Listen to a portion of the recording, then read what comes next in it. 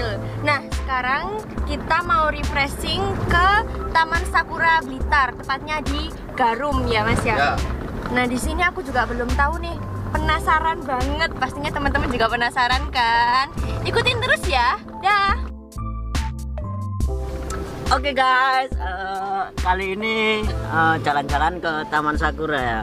Uh, saya ditemani dengan tim saya yaitu Mas Oyot. Oke, halo Mas Ayat. halo, Mas Pri Halo, saya sendiri. dan Mas Huda Yap. Mas Huda. dan ada eh, itu ya Mas Cepi. Dia lagi Mas nyetir Cepi. guys, Oh ya, nggak bisa. nggak bisa diganggu. Dianya lagi nyetir. Oh. Dan kita ada teman lagi nih, eh, talent-talent kita yang berbakat. Eh, ada Mbak Intan Monela, Intan Monela, halo. Hai. ada Mbak Kana, Mbak Kana, halo. ada Mbak Cindul. Hai, halo, halo, halo. Wah, oke guys, Eh, itulah talent-talent kita ada tiga ya. Namanya itu Mbak Kana, Mbak Rintan dan Mbak Cindul. Nah kita nanti insya Allah akan hunting di Taman Sakura dengan kostum apa mas? Kimono. Kimono. Ya dengan kostum kimono. Nanti Mas Cepi juga akan pakai kostumnya juga guys. Kan rambutnya panjang terus mukanya tuh kayak eh, ke Jepang-Jepangan gitu guys. Jadi masuklah. Kayak gitu. Ntar eh, saya yang ngesut pastinya dan dibantu dengan Mas Yuda. Oke guys. Seperti apa kelanjutan videonya? Tetap stay di video ini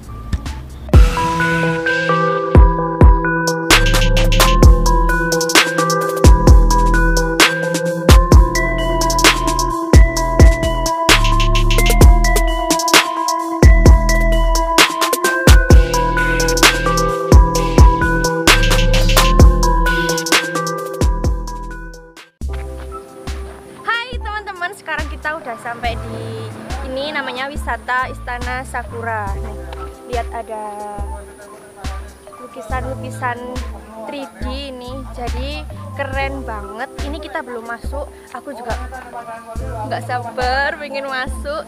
Eh, ini tuh belum dibuka. Jadi di sini bukanya jam 9. Nah, kita udah sampai jam 8 lebih berapa ini?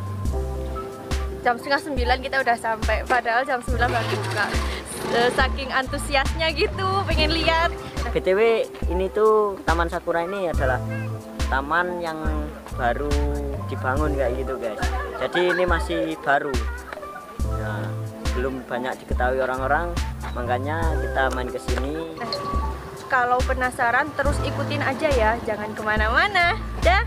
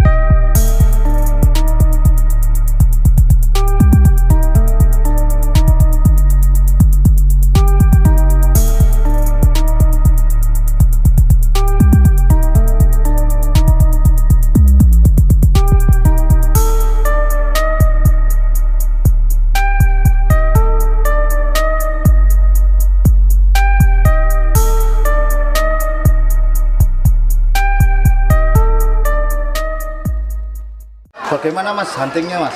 capek sekali. Wow. di sini panas. Tapi nggak apa-apa lah kita akan terus memotret eh, supaya kita itu punya gambar yang maksimal. Bagaimana dengan talent-talentnya Mas untuk talent-talentnya sih eh, cukup cukup antusias eh, senang mereka gembira mereka belum eh, pernah. Katanya itu belum pernah hunting kayak begini. Jadi ya otomatis saya senang lah bisa memotret di sini kayak gitu mas Kalau Perfect. masalah view Mas Rudi? ya viewnya cukup bagus Capek. Gimana tanggapannya Mas Cepi? Cos. Makasih. Terima bagus. Mas Ayat, tanggapannya bagus ya? Tempatnya menarik, Lihat. bagus juga. Dan rame. Kan ini wisata baru. Dan jangan lupa ke sini ke Taman Sakura di daerah Blitar. di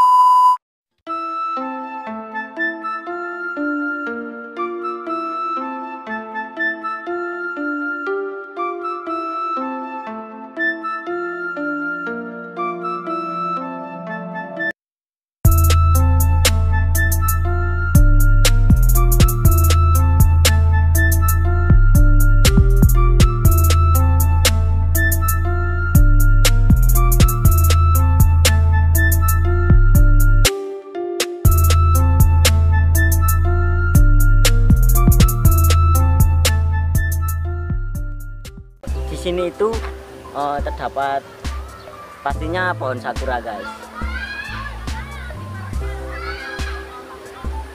Nah terdapat pohon sakura dan juga ada taman anak-anak. Nah dan terus ada apa ya kayak tempat persinggahan kayak gitu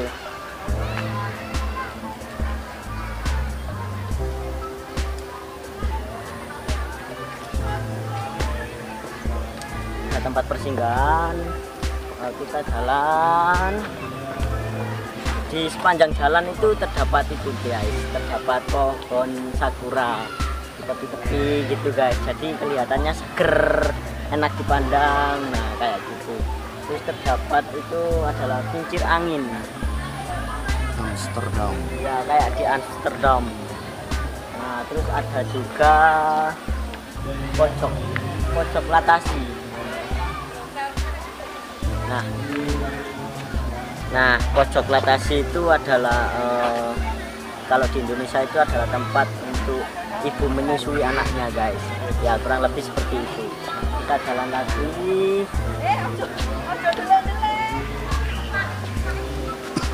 Pokoknya di sekitar sekitar keliling itu eh, banyak pohon sakuranya guys.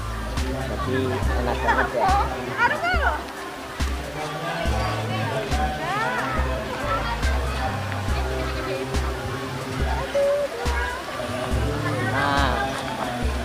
jalan lagi menemukan terapi ikan.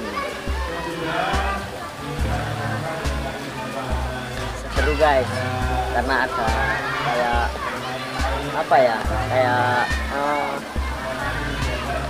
terapi ikannya kayak gitu. Jadi kalau kamu punya gatal-gatal itu kakinya bisa diterapi di situ guys. Nah kita jalan lagi. Di situ ada kolam renang guys jadi ada kolam renang. Untuk anak-anak itu mas Pri ya? Iya, untuk anak-anak. Ya, untuk anak-anak kita jalan lagi. Nah sekarang eh, tadi kan tanaman sakuranya warna kuning.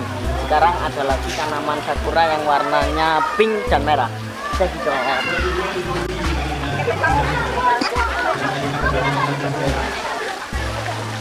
gulai, ada lontong sayur, ada somai, ada bakso, ada dawet. kita kafe ini akan melihat ini. pohon sakura guys. Juga pohon dengan sakura harga yang warnanya itu adalah sangat murah. warna pink dan merah. Eh, kita juga bisa melihat lampion-lampion di atas. Ini banyak sekali. Bapak Ibu, kami mohon kerjasamanya. Apabila putra putrinya berenang, mohon untuk selalu diawasi atau dijaga agar Nah, tidak di sini kita juga bisa melihat inginkan. melihat Doraemon guys. Dan juga Bapak Ibu, apabila Bapak Ibu menginginkan untuk berselfie Mungkin Doraemon itu lahirnya di Jepang kayak gitu Mas Ri ya. Ya, Mohon kerjasamanya. Terus kita bisa lihat jembatan, guys. Tangkai atau menarik tangkai agar tidak patah. Nah, kita bisa melihat sakura jembatan dan juga itu adalah Gucci kalau nggak salah. mudah lepas atau mudah patah. Kami mohon kerjasamanya Bapak Ibu telah pengunjung ada airnya semuanya. kayak apa ya? Ya kayak berselfie begitulah. Di Jalan jalan lagi. bunga sakura replika mohon tidak menarik-narik tangkai. Nah, di sini Demikian Bapak Ibu, terima kasih atas Apa ya? Terima kasih Banyak atas sekali kunjungannya. Saya ucapkan bunga-bunga selamat sakuranya berlibur. guys. Kita juga bisa menyewa baju kimono guys. Nggak mahal, cuma 20.000 per men- eh, per 20 menitnya.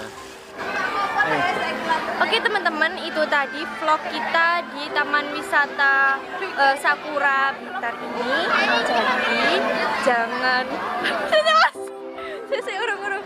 Jadi apa ya? jangan lupa Oke teman-teman, itu tadi eh, vlog kita di Taman Wisata Sakura Blitar. Jangan lupa berkunjung di sini ya. Terus jangan lupa juga subscribe, like, dan komen channelnya Rudi Acil. Oke.